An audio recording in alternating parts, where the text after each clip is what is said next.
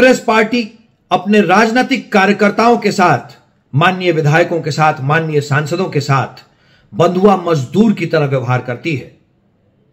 Congress party को अपने ही माननीय विधायकों पर विश्वास नहीं है। इससे ज़्यादा दुखद कुछ नहीं हो सकता है कि एक पार्टी को अपने राजनीतिक कार्यकर्ताओं पे, अपने माननीय विधायकों, सांसदों पे विश्वास नहीं है। बिहार और झारखंड के कांग्रेस के माननीय विधायकों को आला कमान के किसी तथा कथित आदेश पे यहाँ से वहाँ बंधुआ मजदूरों की तरह ले जाया जा रहा है। बिहार के माननीय कांग्रेस के विधायक पहले दिल्ली, फिर तेलंगाना भेज दिए गए हैदराबाद नवाबों का मकबरा देखने के लिए।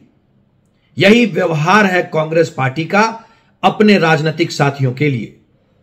कांग्रेस पार्टी लोकतंत्र में विश्वास नहीं करती। वहाँ तो एक राजा का परिवार बैठा है। उसका आदेश और आप यहाँ से वहाँ जाते रहें।